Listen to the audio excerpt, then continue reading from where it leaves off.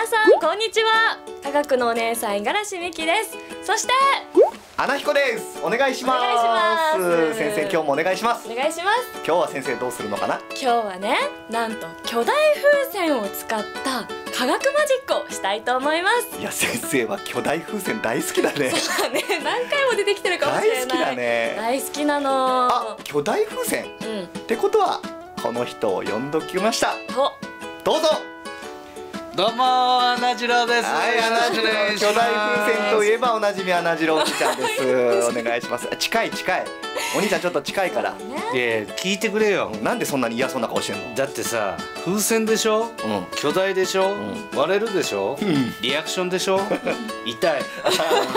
この間ね風船が割れて飛び上がっちゃったからねいやあれは本当にやばかったです。すごいこけ方してたもんねこれがまたあるんでしょ？そうどうだろうお兄ちゃんまだちょっと治ってないんで あれちょっと治ってないんであんま笑わせないで先生穴彦君。うん笑わせこのないで子は悪い子だよ。うん悪い子だ穴彦君。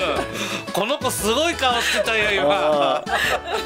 ー じゃあ先生やってみましょうか その。いやいやいやはい。ねじゃあ今日もやってみましょう。やっちゃいましょう。はい。あのいつものやつね。あ のいつものやつね。今やろうとしたでしょ。俺もやろうかなと思って。え？止めなくていいからそいや止めなくていい。スッと生かしてスッと。スーっていっちゃうの？もそうね。ったいなくない？なんかスーっていくの。先生え？巨大風船のサイエンスマジックやりましょう。やりましょう。えやっちゃうのね。やるやる。それではレレッッツサイエンス。ツじゃあ先生はいまず最初に何をやるのかな？まずはこの巨大風船を膨らませます。はい。はいじゃあお願いします。いえちょっとちょっと待って待って待って待って待って待って。いやいやお願いしますよ。人力じゃ無理よこの この太さ。いやいやできるでしょいやできないでしょうよ。いろいろ勉強してきたじゃない。いやいや勉強してきたよ。前やったよ今、うん。その幽体離脱みたいなやつでしょ。幽体ね。流体ね入体は違うから。入っちゃうから。そうそうそうそう。あれはあのビニールだから。これゴムゴムね。No. の OK No snow. じゃあどうするんですか先生これは？これははいじゃあブロワーを使いまあるんかい。あるんかい。おいや。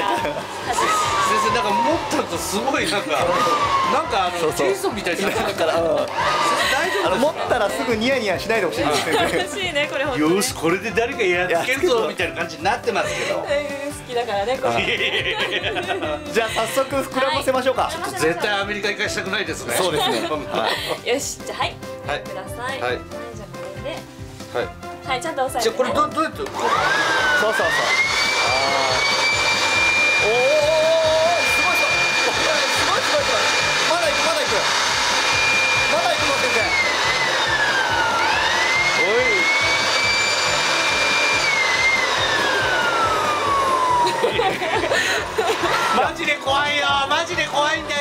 これ本当に割れるやつだ。マジで割れるやつだから。はいじゃあこれぐらいかな。巨大風船が用意できました。はーい。続いてはどうするんですか？続いてはこの膨らませた巨大風船をはい。浮かせるマジックをしたいと思います。なるほど。いやあのあ先生。お兄ちゃんの胴体体みたいになってる。本当だじゃあこの風船を俺が膨らましたみたいな感じでさ汚いみたいな感じで持ってるからさ。そうね。余計よ。そうだね。じゃあこの風船を浮かすマジックをやってくれると、はいマジックをやります、はいはい。よーく見ててね。はい。じゃあ先生。はい。サイエンスマジックの準備はよろしいでしょうか？もちろんです。それではお願いします。いきます。レッツサイエン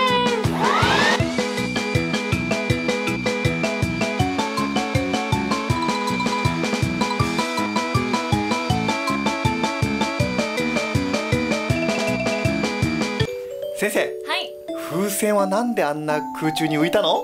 それはね空気の流れが風船に沿って曲げられることで流れに垂直な方向に力が発生します。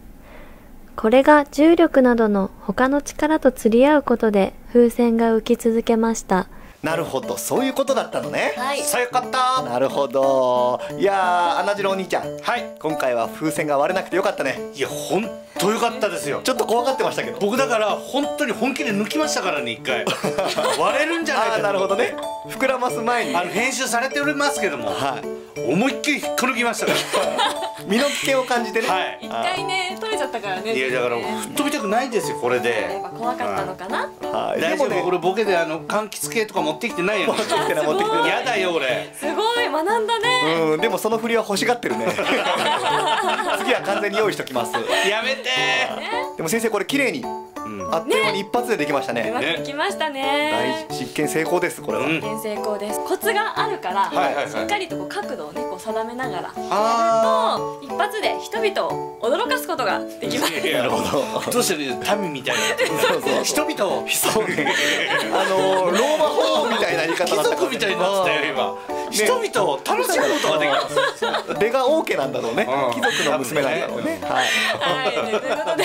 神々のコントかなこれそうね。僕ら平民も頑張りましょう。はい。頑張ります。